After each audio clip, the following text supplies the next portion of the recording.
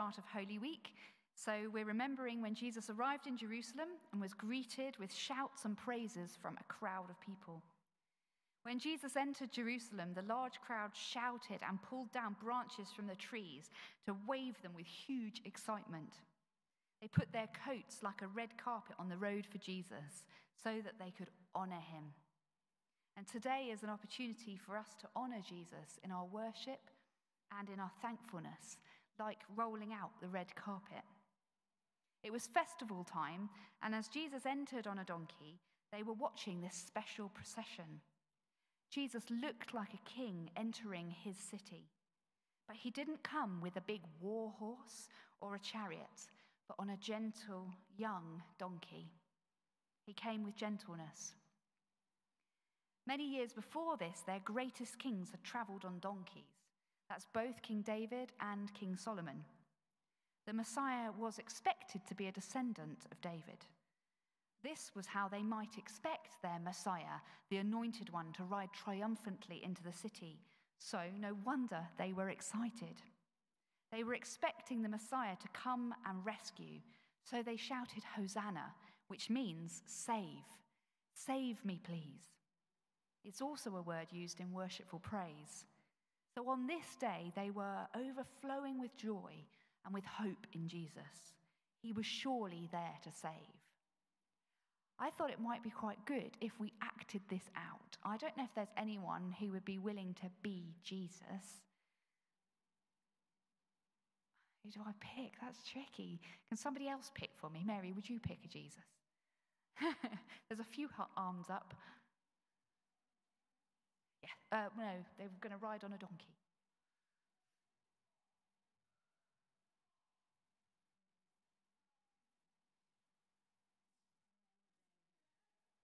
Perfect. Thank you, Samuel. This is your donkey. Yes. So, all, if you go down to the back, that would be brilliant. So, all of us are going to be the crowd, and we have our palm branches in the form of a palm cross. We probably have a coat on us today. If you have a coat or a cloak or something, you can get that ready because we're going to stand up in a minute and we're going to be the crowd. Um, if you want to, you could come down here and grab a ribbon to wave because that's pretty much like a palm branch to wave, or you could just wave your cross. And as they come down, we're going to shout, Hosanna! Hosanna! Blessed is he who comes in the name of the Lord, or anything like that. Or hooray, if it's easier. Hooray, or yay, yeah, something like that, as we greet him as he comes in. And we remember that he came as king into his city. Okay, amazing. Everybody got everything they need? Got your coats ready? Because you're going to want to lay them on the road in front of Jesus. He comes on his donkey. Yeah? I want maximum participation here. and you can ride in really slowly, Samuel. There's no rush because people want time to wave their branches and greet you. Sorry, Jesus, you can ride in very slowly on your donkey so that you can be greeted. Okay, are we ready? Excellent. Let's do this then. Everybody up on your feet, and we're going to shout, Hosanna! Hosanna. Ready? Get ready.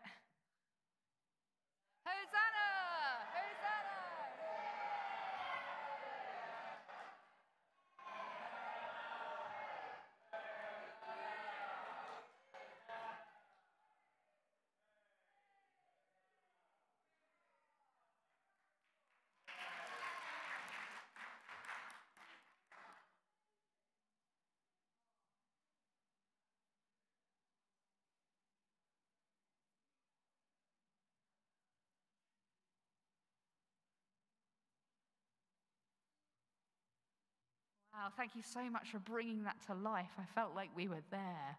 That was amazing. And seeing him in that way would have reminded the people of the big promises of God. So many times before in their history, God had proved that he was a rescuer, a savior. The Passover rescue from Egypt would have been fresh in their minds because many were in the city to celebrate the annual Passover festival. I wonder if you can remember what that was all about. Many years before, their ancestors were rescued from slavery in Egypt. There had been plagues, and they had been protected when they covered the door frames with the blood of the lamb. When they tried to leave and escape from Pharaoh, they were pursued, but again They were rescued through the miraculous crossing of the sea to safety. At the time when Jesus entered into Jerusalem, the country was occupied by the Romans, and they were in charge, and that was hard, and people were expected to pay lots of taxes, and they weren't free. They'd recently seen Jesus doing many healings and miracles and heard his amazing authority in his teaching. So perhaps God really was on the move. Maybe now was the time when he'd come to rescue and he'd put a new king on the throne. Could Jesus be the promised king of Israel? He was certainly at least a prophet. Was he the one they'd been waiting for? Their hope of being saved? Some were asking who he was. Who is this? Now, that is a great question. Who is this? Ask yourself, who is Jesus? Is he more than a prophet? Is he more than a good teacher? Could he be the Savior, the servant king? Jesus knew that he was coming into Jerusalem with a mission to lay down his life for our forgiveness. Even as the people shouted joyfully, he would have known that human hearts change quickly and that he faced something extraordinarily difficult for him to do. He knew what was coming. On Thursday, at his Last Supper, he'd tell his disciples how he had to go away from them. He'd already been warning them that he had to die and then rise. In less than a week's time from now, after this joyful entry into Jerusalem, Jesus would be put to death on a cross. And we'll remember each of these events this week during this coming Holy Week. So sadly, this joyful parade was also the beginning of Jesus' journey to the cross. And we can glimpse his glory coming as king on Palm Sunday and glimpse his glory all the way through the week. We'll see his amazing glory in different ways. He came as our humble king, gentle and glorious, and he knew he was going to need to die to give life to others.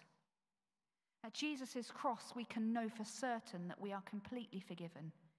He came to save all who would believe in him, and we're all invited to trust in him. He even held out forgiveness to the ones who were crucifying him. On the cross, he said, Father, forgive. It was finished. He took all the darkness, all our sinfulness, and overcame it all for us to make us friends with God, friends forever. Jesus suffered in many ways through the week ahead, through injustice, betrayals, the mocking and pain, and something far greater was happening than the crowds or the disciples could understand at first. This was God's plan to overcome evil. I hope that as we move through this coming week, through Holy Week, we're going to have time to soak in Jesus' story and let it speak to us really deeply of God's amazing love. Let's take time to meditate on God's love for the world. All around the world, Christians are remembering just like we are, journeying through the events from Palm Sunday to the cross and on to the resurrection. Jesus came as Messiah, as King, offering us union with God if we believe and follow him. We can turn from our sin and receive his loving acceptance. He wants us to enjoy a rich relationship with God. And the overflow of this relationship means we'll really want to put God's kingdom first. Jesus welcomes us into his kingdom. We have the privilege of serving him, so extravagantly loved. In our APCM, we'll have the opportunity to look back and be really thankful to Father God for all that he's done and say thank you for one another. Let's remember how we've served God over the last year and the ways we've lived for his glory. We want to honor God for his faithfulness and to be thankful for others.